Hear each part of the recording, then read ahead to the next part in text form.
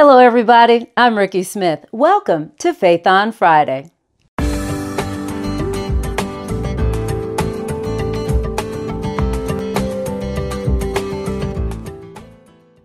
What draws you to someone? Is it their eyes, their smile, the way they walk, the smell of them, or their swag? Is it their lifestyle, the car they drive, the house they live in, their profession? Or could it be their gifts and talents and affiliations? Have you ever thought about what it is that draws someone to you?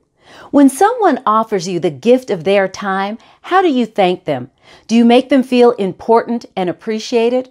Or do you cast them off as a non person with little to no value? You see, people are drawn by what they sense on the inside. So they're drawn to your light. But why? Well, your light offers warmth, the kind that melts a cold, hard heart. Your light beats back the darkness that's threatening to take them over. Your light shows them a way that may have been hidden until they met you.